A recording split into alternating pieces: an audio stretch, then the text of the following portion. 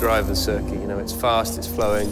Somewhere you need to really push the car to the limit. The support you have is insane. I mean, last year was just crazy, the amount of fans that we had there. Complete sellout. For me, it's one of those circuits that really, really means a lot to me. And of course, they have changed the circuit, so we're in a new period of time now.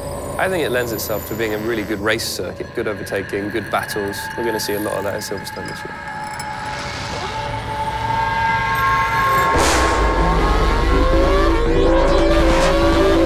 It will be flat through turn one. But when you're behind cars that close, you lose a lot of downforce. So we're going to be squirming all over the place through there. So it should be a great place to watch. Copse is just one of those corners that in your career, you've got to take it flat once. And then you go down into Maggotts and Becketts. You wouldn't believe the G-force and the speed that you're going through that whole complex. It's like almost 200 miles an hour.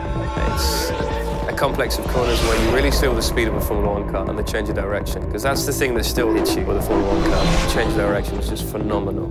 Takes your breath away. You go into it like 200 miles an hour, and then you've got to turn in at the right point to get up on the curb, and your body is like squashed up against the side of the car one moment, then to the next side, and then to the next side. But it's one of those circuits that a driver loves. You know, it's got a great vibe to it. It's got a great feel. Every year it's what you prepare for through the whole year. Standing on the top spot of a podium is always very, very special.